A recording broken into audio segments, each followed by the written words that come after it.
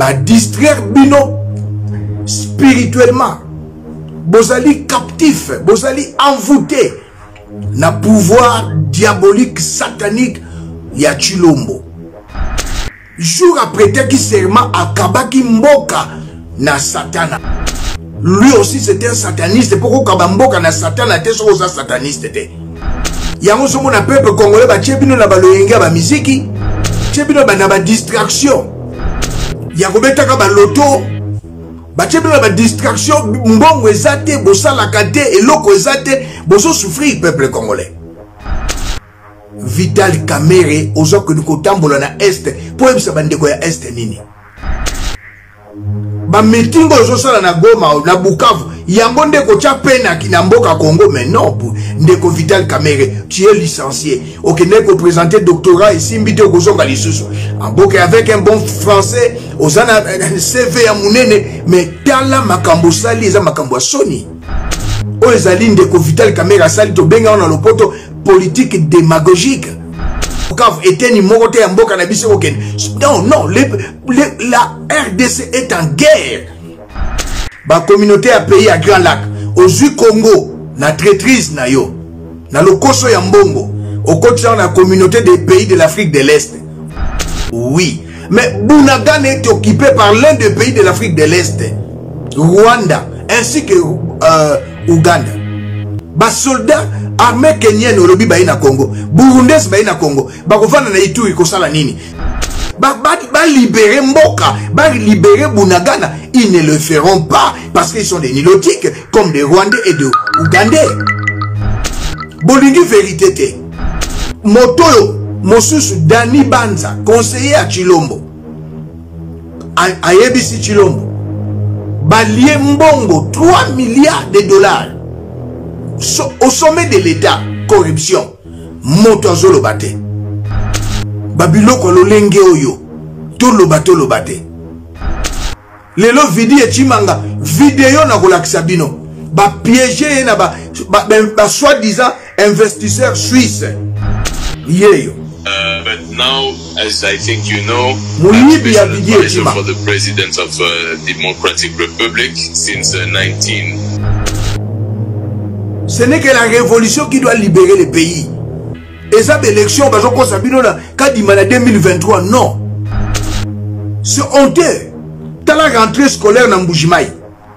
tala rentrée scolaire na mbujimayi honteux tala bana bazongi classe na mbujimayi amemi libanga na motu yango nde bango na mbujimayi gratuité ya ah. scolaire yango oyo avandelaka cipolo mawa tala mwana na biso ndenge afandaka na mbuji mai mawa rentrée scolaire yango ah, nazosenga na peuple kinois population kinoise na balabala kokanga palais du peuple moto akota lisusu te botikaki bango le 15 hier pourquoi cilombo ndenge akei wana bokangi aéroport azonga lisusu te ata batambolaka alingi koyoka te Vidi echimanga ye wana ayibi mbongo piege ye na bamindele ya swisse bana ne baactionnaire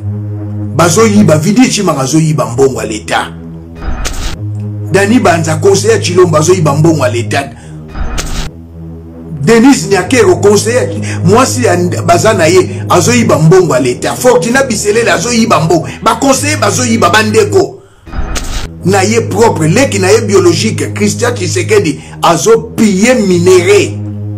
na bandeko na nga baluba batondani kuna ya kabeyaka mwanga na lwalaba mpo ya lwalaba na natonga yango se moïse katumbi chapwe bazoyiba lelo bayeli biso balobi budget ya 2022 ezalaki 10 milliard tozomona yango na mikanda peuple mai eza te courant eza te misala eza te lelo balobi ekomi 14 milliard na mikanda social ezobonga te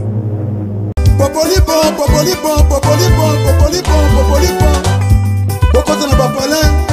badiaspora bokota na bapalin bakombata bokota na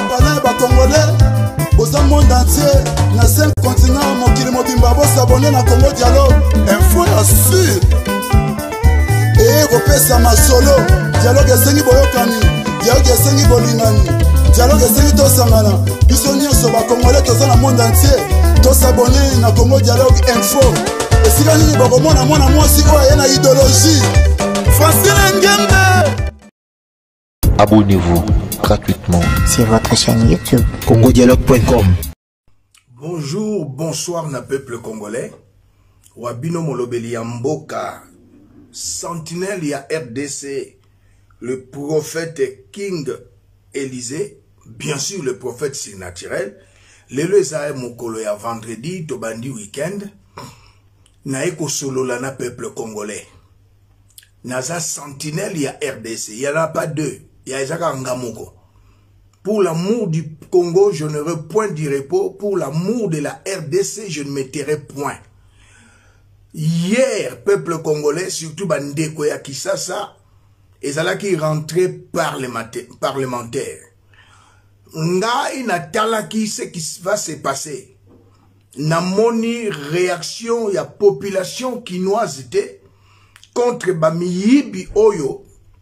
na une année baza na deux vacances parlementaires ya trois mois c'est-à-dire six mois basalaka kaka pendant six mois et chaque mois bazwaka 21 000 dollars ya corruption oyo chilombo antoine félix apesaka bango a des vacances parlementaires il y a trois mois chilombo apesi bango 67 000 dollars il y a vacances parlementaires donc l'auteur de la corruption, le patron de la corruption la RDC, c'est Félix Antoine Chilombo. Alors, à la tête de notre pays, nous avons un président inconscient, un président naïf. alors azo kofuta ba fonctionnaire mbongo ya malunga te policier balobi babakiseli ye 30 pourcent policier azwaka 100 dollars bobakiseli ye 30 pourcent ekomi 130 dollars avec deux enfants bozobimisa bango su na kan kokolo mpo nalobelaka bino ya plus de 6 mois passé kan kokolo esi bateki namoni honorable député molière arejoindre nga na kati ya kan kokolo bazo kotonga bandako e, eyali camp ya yambo na capitale na biso uh, na province ville ya kinshasa alors ezosala mpasi mpe mawa lelo à ma qualité de serviteur de dieu prophète surnaturel na comprendre par le saint-esprit ce qui se passe chez nous au pays tout a commencé le jour où chilombo a prêté serment boyokaki alobaki langue moko satanique langue moko diabolique moto nyonso aza na video ya prestation ya serment ya chilombo zwa yango okomona moto moko aza magicien occultiste alati bilamba ya bapretre orthodoxe mais il n'est pas pretre orthodoxe na croix ya monene ayosala baincantation c'est le jour où le chilombo a dédié le pays a confié le pays au diable yango ozomona le peuple congolais particulièrement peuple kinois bozali envoûté badistraire bino spirituellement bozali captif bozali envoûté na pouvoir diabolique satanique ya chilombo jour apretaki serment akabaki mboka na satana lui aussi c'est un sataniste mpo kokaba mboka na satana te soki oza sataniste te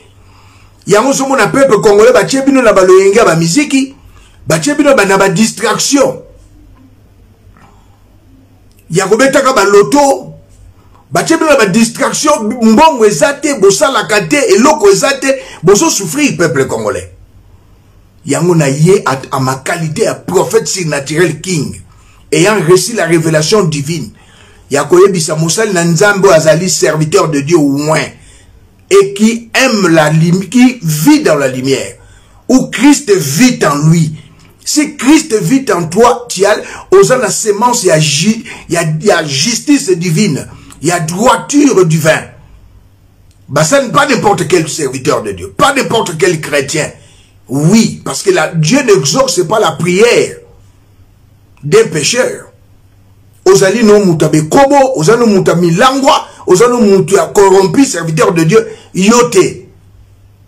toza na oyo baza bareserve ya maloba te na misala mpe nzambe ayebi ko aza réserve de l'éternel ce n'est pas comme l'enfant de apôtre mbiye un impidique ce n'est pas lui Les serviteurs de Dieu ouin comme moi, qui craignent Dieu, qui ne suivent pas les lits conjugales, oza na 50 ans ministère ti lelo ozalaka nekobo oyamba yesu na, ozalaki na 15 ans nekobo 30 ans nekobo 60 ans na, nekobo 70 ans nekobo mais non non non tu sers dieu dans la chair tu n'es pas conduit par le saint esprit alors nazosenga na basali na nzambe ya solo lelo na minuit 14 jours ya prière si le saint esprit aconvaincre yo ogene soki saint esprit aconvaincre yo te bondela la prière du juste a une grande efficacité bosala yango secrètement ce n'est pas dans l'église botelemi bozobondela bakokanga bino na kisasa oyo baza na libanda mboka bokosala yango 14 jours ya prière zwa même 5 minutes 10 minutes 15 minutes 30 minutes mpo na prière ya délivrance ya congo liloba na nzambe elobi na mokanda na colossien c'est pour la liberté que le seigneur de gloire nous a délivré c'était à golgotha belela makila nouvelle alliance détruire mabongisi nyonso oyo tshilombo aloba maloba nyonso alobaki détruire yango par la puissance du sang de l'agneau makomi elobi na biso na mokanda na apocalypse 12 verset 11 nous l'avons vaincu satan à cause du sang de l'agneau et de la parole de notre témoignage détruit puissance diabolique satanique ya tshilombo ah, il a dédié le pays au diable yango bato bakomi na bolembu badepute bazozwa 25 21 million bovandi na bolembu joseph kabila oyo azali président sortant sénateur à vie plus de 600 000 dollars par mois bovandi basénateur badepute bapremier ministre non trop c'est trop To, c'est le spirituel qui dirige le physique. To bonde la peuple congolais. Soko ozolanda video kabola yango. Chrétien ozana Kinshasa, ozana ba province, ozana Afrique, na, na Europe, Nazi, na Canada, na États-Unis, na Australie, na Nouvelle-Zélande, zwa ta 5 minutes ya ko détruire puissance diabolique satanique ya Chilombo.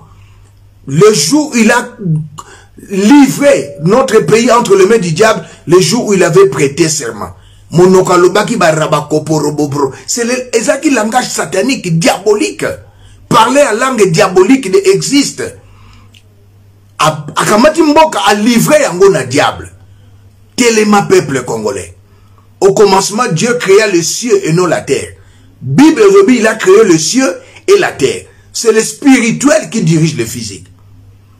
tellement là, pendant 14 jours lelo les les 16 jusqu'au 26-7 bondela même 5 minutes 10 minutes 30 minutes la prière kilométrique ce n'est pas la durée de la prière que nzambe akokangola congo eza durée ya, ya ah, nzambe atalaka foi na yo la prière de la foi une grande efficacité olongwe na dimension wana le 27 le 28 le, le 28 le 29 le 30 3 jours ya suka ya 14 jours gene milimo mosusu ebimaka na gene prière wana premier parti ya losambo mpo na kodelivre mboka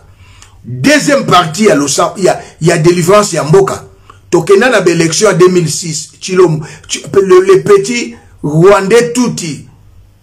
hippolyte kanambe alias joseph kabila triché 2011 il a triché devant le papa etienne tshisekedi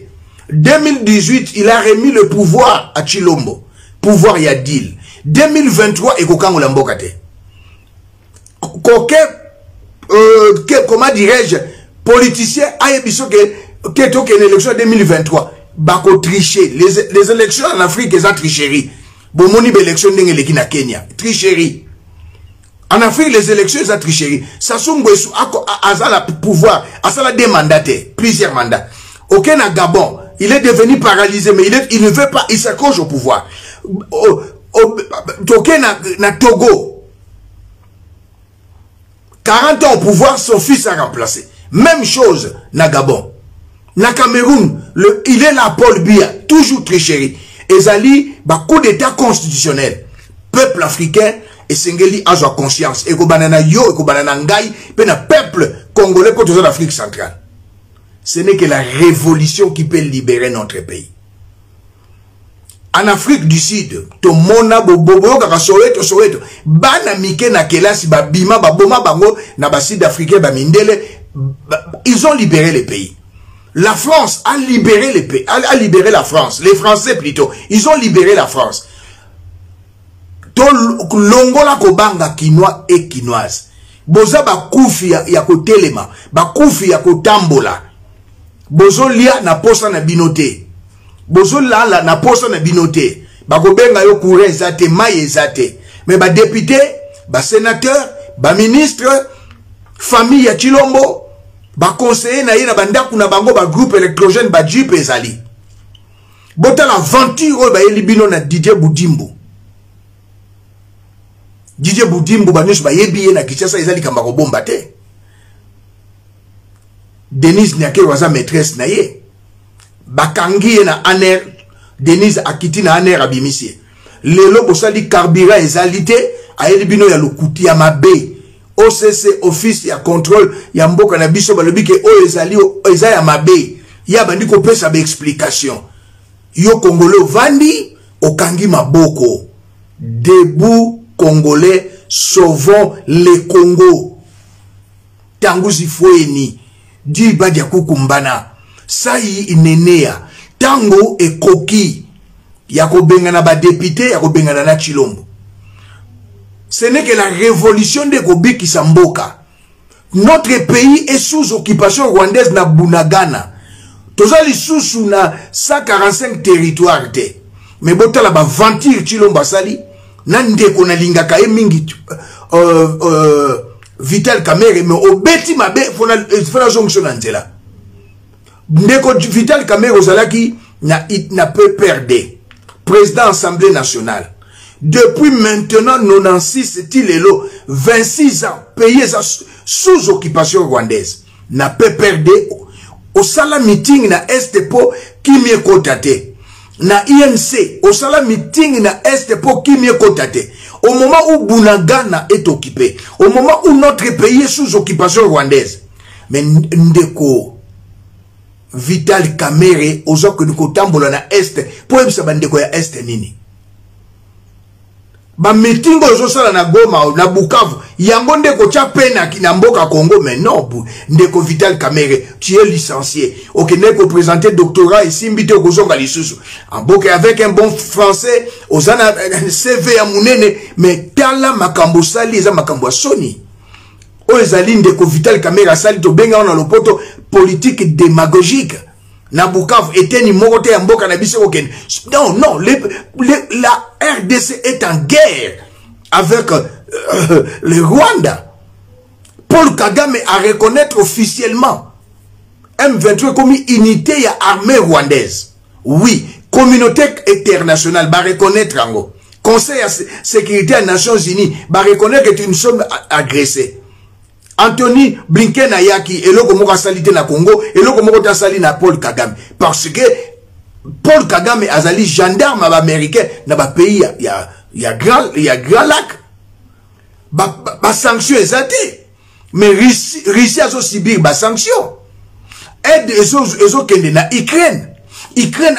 arécupéré plus de 40 terri territoires oyo babotolaki na russie na 4 mois ya récupéré yango na 4 jours mpo baarme ekiti kuna na, na molili baaméricain bafrançais bazobunda côté des, des ukrainiens qu'on ne vous trompe pas les français sont là les américains sont là les anglais les allemands bazobunda contre russie yango barécupere biloko wana ukraine akoki korécupere mabele lokola oyo oh, na, na 4 jours te me biso mondele akangi miso mondele azoloba te me chilombo toza na sadek toza na communauté ya bapays ya afrique centrale bacommunauté ya pays ya grand lac ozwi congo na traitrise na yo na lokoso ya mbongo okotisa na communauté des pays de l'afrique de l'est oui mais bunagana est occupé par l'un des pays de l'afrique de l'est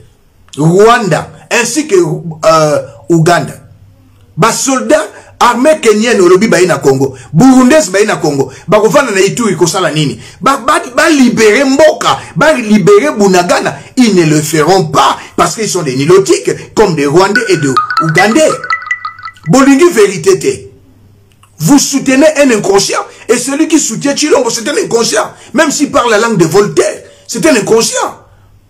des personnes ne peuvent marcher ensemble s'ils ne s'accordent quelle ignorance quelle naïveté la corruption au sommet de l'État.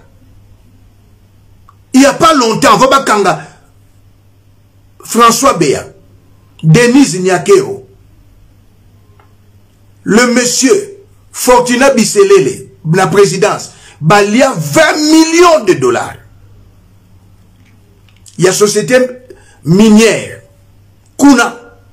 na kisangani bokata yango mike mike somniki bazwi 20 milliards 20 millions plutôt de dollars françois beya ayebisi félix mbala moko bakangisi françois beya moto oyo mosusu dani banza conseiller ya chilombo ayebisi Chilombo balie mbongo 3 milliards de dollars so, au sommet de l'État corruption moto azoloba te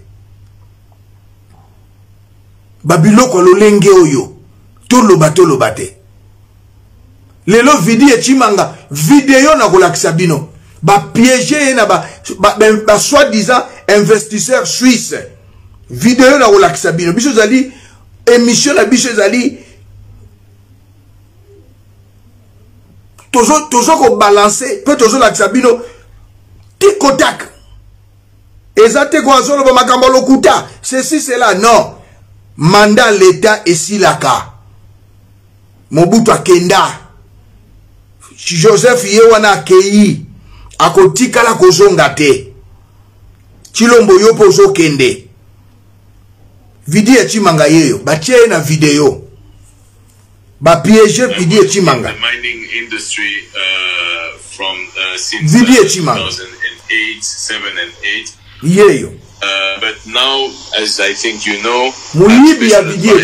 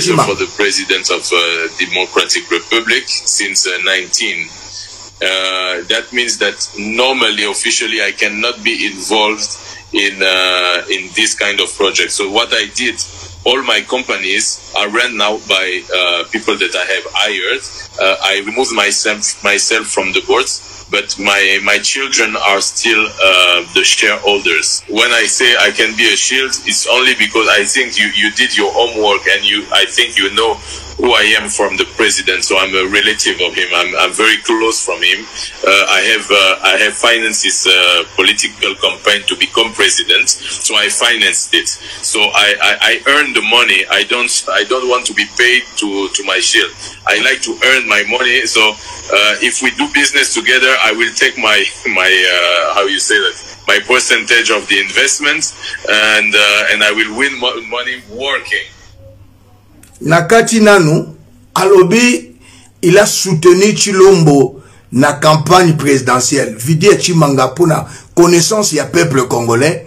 azalaki moteki ya ba voiture ya kimoyibi na Bruxelles o soutenir Chilombo wapi mpo lelo baconseiller nyonso bakoma kaka na sombela chilombo chemise baconseiller nyonso bakoma kaka na je soutenu chilombo na campagne mpe azolobaki aza close donc cela veut dire ye na chilombo baza na très bonne relation je l'ai connu ya 2014 je l'ai soutenu mwasi na ngai na mwasi na ye bayebani aza na société na bana ne baza baactionnaire azosenga bapiége ba na société suisse alobi soki bolingi koinvestir na mine na congo esengeli bopesa nga commission na nga nazala mpe par actionnaire na, na, na kati na, na société wana natya mpe bana na nga na société wana mais c'est un conseiller eloko mpe cilomba akoloba na eloko te akolobaka eloko te un de ses conseillers bakangaka ye alia 10 millions ya miba akoti prison chilomba na étranger soki aye abimisi ye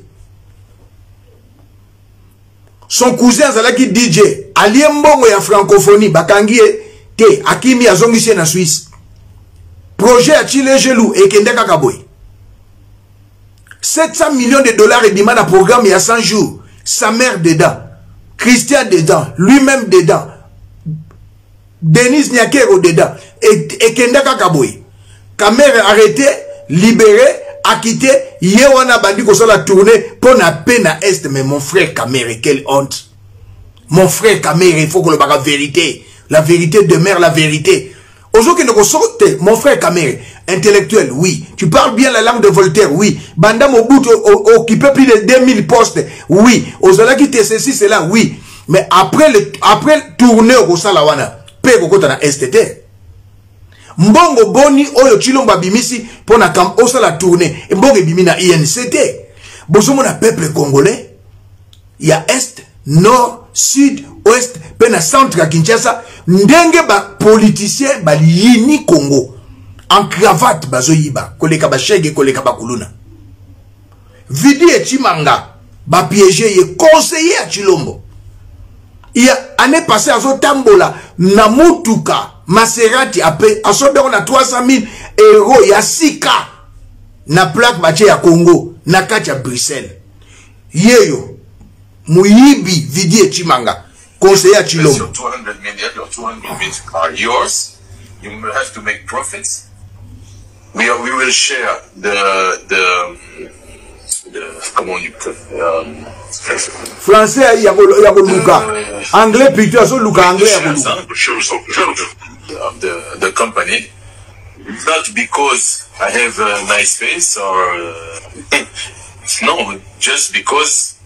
What I will come with is the security, uh, the, the people who will be in charge of the of that company, they will come with uh, some guarantees, and they will be your guarantee. Aza ministre ata mukete ya mine me azopesa bato bamikanda mpo bato bakende koinvestir ayebisi bango soki bona bokoinvestir na mini nyonso bolingi na ko sécuriser bino bokotyanga na bana na nga ba actionnaire na mikili na poto na afrique du sud bakangi yo pays oyo loi ezali bakangi yo donc pouvoir ya chilombo eza ya ekaka scandale na scandale mpo na nini peuple fo ayeba nakoyebisa peuple lelo verité mpo na nini un azwa pouvoir na kisi bainitie ye na, na, na, na hippolyte kanambe bainitie ye na paul kagame balobi nganga yango oyo mpo oenvoute peuple oyo nyonso bana kosala peuple akipaka te yango tobandi lelo na minuit lelo eza le 16 14 jours ya prière mais le, le 28 le 29 le 30 gene ndeko na ngai la prière du juste a une grande efficacité wana de 1 de 2 peuple bima na nzela bengana badepute bengana basénateur bengana ba, ba, ba, euh, gouvernement bengana chilombo ce n'est que la révolution nde kokangola mboka 2006 election ekangola mboka te 2011 election ekangola mboka te avec etienne tshisekedi wa mulumba batriche mundela a impose joseph kabila 2018 ya idule peuple congolais ce que je vous dis est vrai les français basala révolution la révolution française balman bakenda l'afrique du sud même chose vietnam première puissance mondiale na économie na même militaire bakoka ba, ba, ba vietnam te mpo bazalaki ini bazalaki bomoko together totelema tosikola mboka na biso l'article 64 doit être appliqué naloba naloba yango nazongeli olanda yango na bokebi yango oyo L'article 64. ye ake na congrès na acre epai ya euh, kwame nkruma bapanafricaniste 60 tozwi indépendance patrice emery lumumba abundi père de l'indépendance il a lité oyo to lelo tozala indépendant mais ah, papa etienne tshisekedi l'histoire bafalsifiaka yango te bamodifiaka yango te papa etienne tshisekedi oui c'est le père de la démocratie l'erreur est humaine tout homme est faillible abengi papa na biso patrice emery lumumba crapo ye mwana ye na ebonga oyo aza nommé abengi biso barésistant bacombattant oyo tozobunda mpo na mboka bakomba ntaba mais aujourd'hui il est en train de lécher les chaussures de hippolyte kanambe il est en train de lécher les chaussures de Paul Kagame babengisi mwana mobali oyo Hippolyte Kanambe ya kosamba na projet ya JB ya ye aboyi na motuna na yo nakotaka union sacrée namoni giba dia kokumbana sai ineneya ntango ekoki message lelo eza moko tolibere mboka yo ngai biso nyonso bana changu bana ya mwamba bana ya lukunga bana ya funa policier armée direction palais de marbre na oia kanga chilombo kanga ya mwasi na ye rwandaise kanga bandeko na ye kanga bashekulaire kanga bango nyonso kotya bango na prison armee police civile tovanda tokende na transition anarchie oyo toza na yango toboyi mboka ezinda ezinda lokola masuwa titanique merci bongo bato ntango ekoki to aplike l'article 64 nous avons à la tête du pays un président naïf protocole ya chilombo mawa Je vais vous montrer quelque chose oyo bokoseka bokoseka. Protocole ya Chilombo mawa bunagana ekei. Chilombo ake na Bruxelles na fete ya nièce na ye aleki na Hollande. Chilombo aye Kinshasa akei prestation ya serment ya président ya Kenya. A partir ya Kenya ye wana azali na mboka oyo tobengi Angola. A partir ya Angola bokoyoka akei euh, qu'on s'incliner devant euh, la reine Elisabeth oyo atiki biso mais Congo Kinshasa eza lokola Ukraine eza na guerre président ya Ukraine atikala kolata costume te banda guerre ebanda ti lelo 6 mois alata kaka euh, t-shirt na ye ya couleur ya mai ya pondu mpo na kolakisaka te bitumba eza na mboka mais Chilombo bitumba na mboka ye na kati ya distraction bitumba na mboka chilombo na kati ya distraction tu me diras que non akoki kovoyage bitumba na mboka président voyage bomonaki mobutu na guerre ya 80 jours mobutu avoyageaki bitumba na mboka yo président fo voyage président ya ukraine babengisi bengisi parci par là akei mboka eza na bitumba akiti na terrain babotoli 40 territoire ya 4 mois passé barécupere yango président ukraine namoni ye na akiti natali na bachaine natali na bachaine étranger akiti na terrain esika barécupere territoire cino bakokende goma te akamati atindi atindi vital kamere ye azobanga me alobaki soki akomi président akende kovanda wapi akotya akotya ebonga eh, eh, eh, na ye wapi na este Avoir un président inconscient, c'est très grave. Très grave. Botala, Nakolobate, Binomoko peuple congolais, arrivé à Chilombo, Namboka Oy Angola. Sony Pemawa. C'est la honte. Nangola. D'ailleurs, on s'habille à l'intérieur de la voiture. Hein? Le président vient de descendre dans une Mercedes et il doit se... Pachi béton. Mawa, Pepasi, Nangola. Jeep eza climatisé, mais hier na kati ya Jeep alongolaki chemise, veste, euh, akiti libanda, abandi kolata veste, tapis rouge, banda Congo et bandi Congo. le président le plus médiocre africain yeyo nani esalama te peuple congolais oyo azoyokisa biso soni ya modele oyo peuple congolais ya modele oyo nanu namona yango te na congo namona eloko ya boye te na congo ye wana azolata veste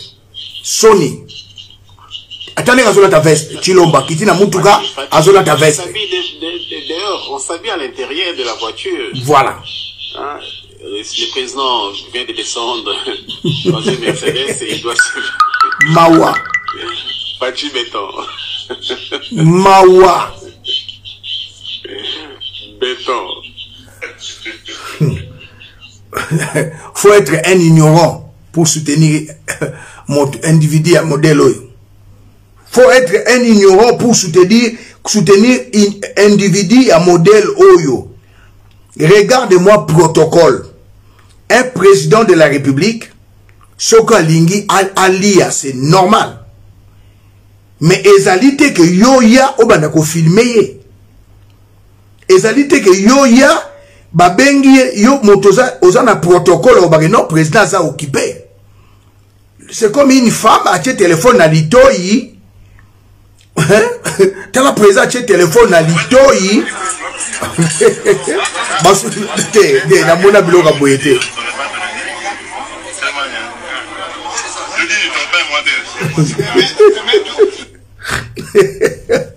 ezosala pasi koseka ya pasi koseka na motema ezoswa protocole 4e année yango oyo protocole eyebi mosala te 4e année yango oyo tokomi protocole na présidence président alingi kolia c'est normal botala mpe esika yango oyo baprésident azoliela crepsage eza te mais non c'est ça c'est grave c'est grave na kananga awa na kananga chiluba eh, na chiluba telefone na litoi na maboko asimbisa na mbele protokole ya modele nini oyo basusu baza kose servir avant le chef de l'état tala biloko batoki kotya nini topin na chiluba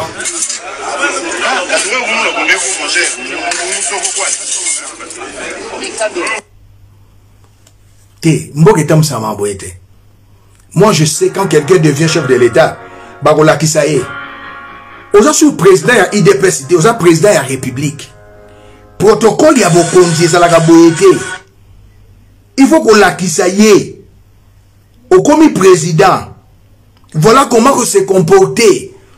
president balingi alia yo koloba te ke babengi ye babengi ye okopesa telefone te okogere yango hein? eza pasi mpe mawa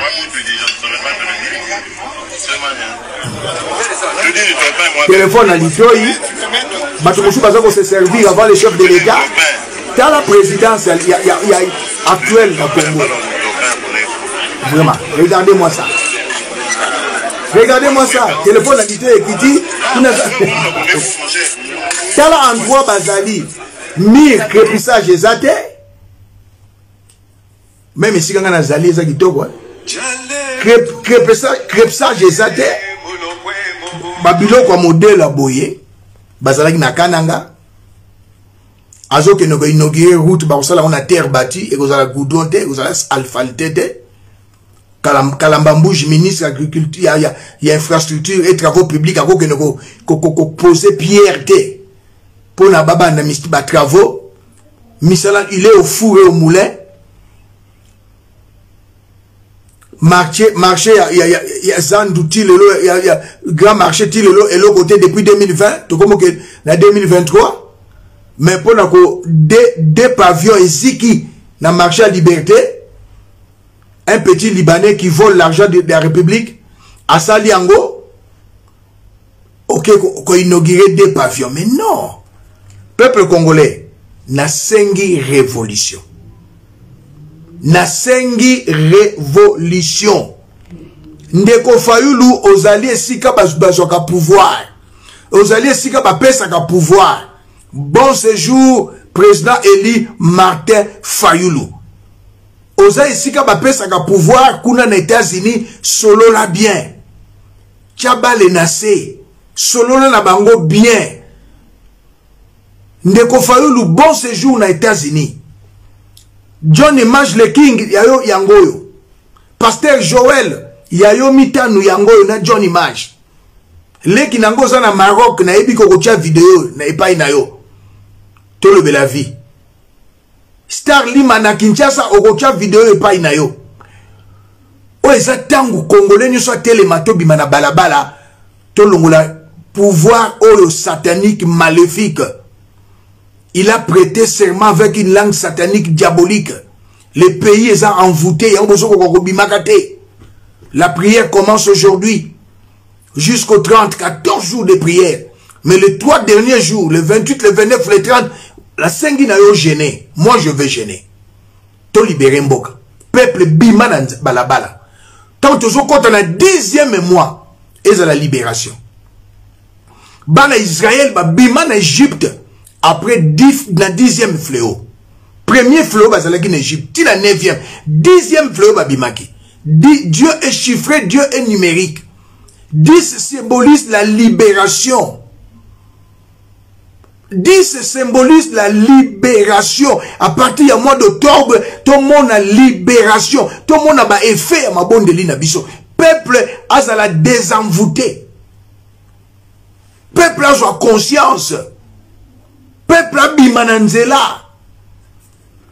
oyo un groupe de citoyens bavandi non nous sommes maintenant na tango ya révolution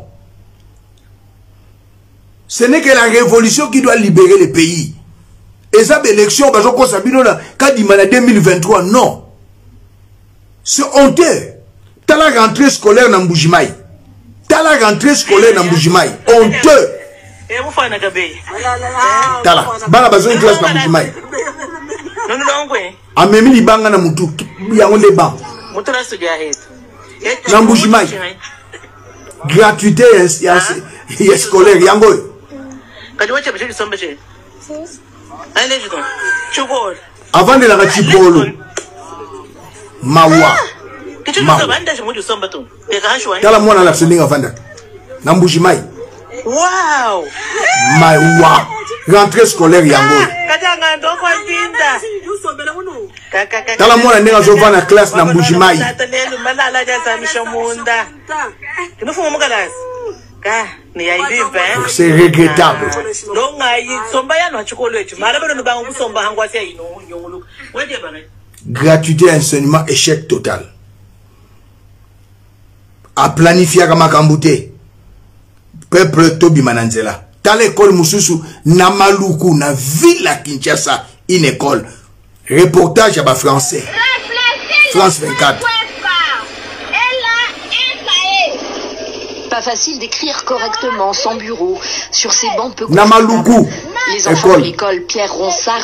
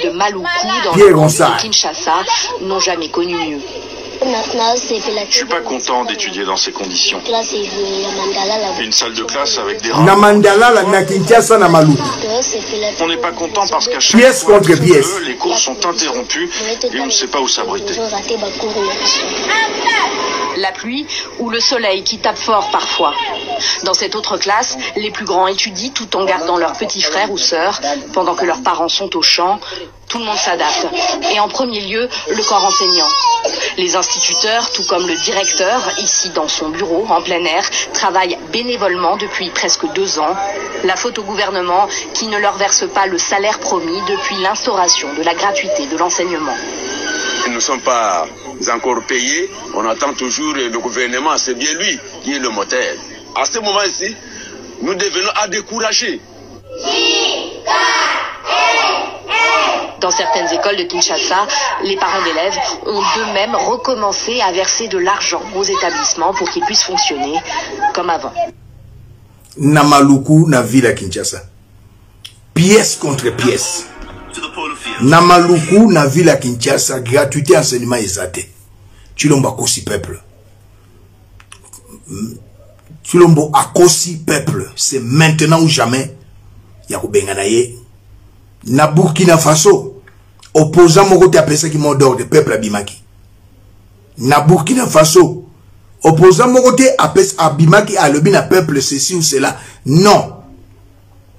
moi je suis dans l'opposition nazo senga na peuple kinois population kinoise na balabala kokanga palais du peuple moto akota lisusu te botikaki bango le 15 hier pourquoi cilombo ndenge akei wana bokangi aéroport azonga lisusu te ata batambolaka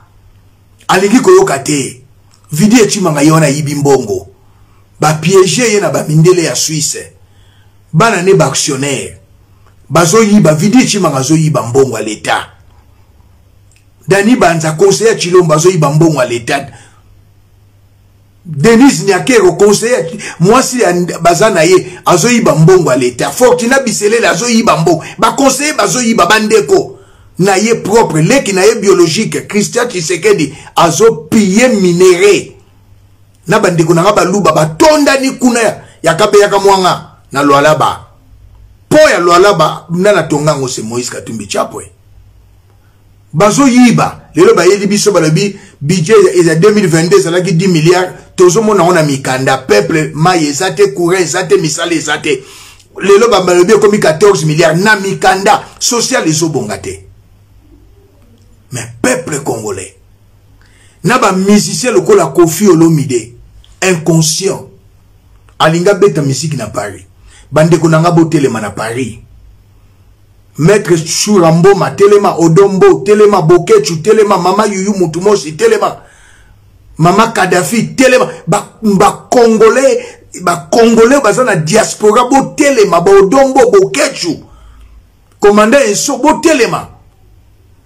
Moto aza, aza alingi mboka te. lokola bana ya wenge le 30 bobeti mbongo ebimi plus de 500 000 dollars le 30 juin nani esalama te ezalaka baparade botelemela kofi mpe nakopesa bino makanisi ya sika partout bacongolais toza na diaspora soki musicien alobi akobeta par oyo na états-unis france afrique du sud canada partout bavideo esalama te tosala cotisation 100 euro 100 euro ube 200 euro 5000 euro topesi bana bandibu biso tokoya mpe na concert te bana bandibu baye na concert bakoti bayebi koyo baza bandibu ntango miziki eye makasi bamati kaka likolo babimisi ye mopepe misie moko ayoso na poto te babimisi ye mopepe tanke misie moko na nakufi na libanda mboka te yango baza motu makasi kofi ayebi liwa ya papa wemba kofi moto abomisa papa wemba ye moto alingaki kobeta na cote d'ivoire bayokani na joseph mpo papa wemba atelemelaki joseph babomisa papa wemba na cote d'ivoire kofi olomide aza na makila ya, ya, ya, ya, ya papa wemba mama amazon yeba yango de deux kofi babisimbasimba na ye ntango abandi miziki moi jete akini ata banzambala lokola bamizilima lokola ba west africain botuna kofi nana bana koteka tike concert ekobeta na lemba nana azoteka tike mpo moto akota na concert c'était sa mère qui est décédée avec plein de péchés e azwaka kisi à l'époque abima na mama ne plusieurs fois hmm? Abima combien de temps Le petit là m'a dit 64 fois. Kofi est sorti, donc couché. A dobé, dobé, mère naïe 64 fois. Kofi. Kisi, Asimba. Azo dobé, mère, azo dobé, mère, azo dobé, mère. Bon, mouta boya kolinga Congo. Kofi a dobé, dobé, mère naïe 64 fois. A kolinga Congo. basimbisimbi bakisi na bawera na bakubashibe basila kofisa sila na yo petit oyo inos oza no moto ya kivu te oza rwandais clip oyo osali avec le musicien rwandais inos mbano na yo ezali kofi abanda kobima na mare na ye kofi abanda kodobe mare na ye kofi abanda kolala mama na ye ndenge alalaka sindi alamdaka basi nde mosusu po kaka azwa lupemba bakisi na bango 64 fois abima na mare na ye kofi olomide to ekomi pièce contre pièce tokotikela bino tan te misiki wana ekobeta te bokomzwa mbano na bino na bafali na bawera na bajibe bokozwa mbano na bino peuple congolais totelema tolibere mboka Chilombo c'est un incompetent. Ezo sala pasi pe mawa de voir moto lokola Chilombo a diriger. Martin Fayulu, Moïse Katumbi Chapwe, Botelema. Si vous n'êtes qu'à à deux, ndeko nanga Jean-Pierre Bemba que j'aime beaucoup, Chilombo asombiye. Kamere, Chilombo asombiye. Bino soboyi na lamuka, il y a que deux batikali na lamuka. Martin Fayulu, F. Moïse Katumbi Chapwe. Bima na, na, na na union sacrée ozelaka 2023 te moto akosala mpe eloko aza te moto akoempeshe yo mpe opostule na 2023 aza te mon frère moïse katumbi président de l'ensemble président moïse katumbi bima na union sacrée vanda na yo apart lo euh, ndeko fayulu ye wana na états-unis solola bien na bamindele Moïse Katumbi bima na union sacrée wana ezali eloko ya mabe eloko ya libabe bima na union sacrée eza esika ya kovandaka te bima ndeko moïse katumbi chapwe na union sacrée mokonzi azolata veste abimi libandi azolata veste natikala komona babosoto ya boye te na ngola cilombo ye wana azolata veste tandenge azolata veste tandenge azolata veste chilombo jupe ezalaki climatise te ah, na angola na prestation serment ya président lorenzo oyo a triché na baélection il n'a pas gagné il a triché les présidents africains sont toujours comme ça ils sont les malheurs des peuples africains peuple congolais totelema tosikola mboka peuple congolais nalobi yango ntango zifueni debout congolais diba dia kokumbana sai nene ya ntango ekoki ya kobengana kobengana regime oyo sanguinaire regime ya ba oyo ya envoute peuple okoluka deuxième mandat osali eloko te okoluka deuxième mandat na bodele oyo ezalaki wa bino molobeli ya mboka prophète king mb elise tokutani na mbala nsima merci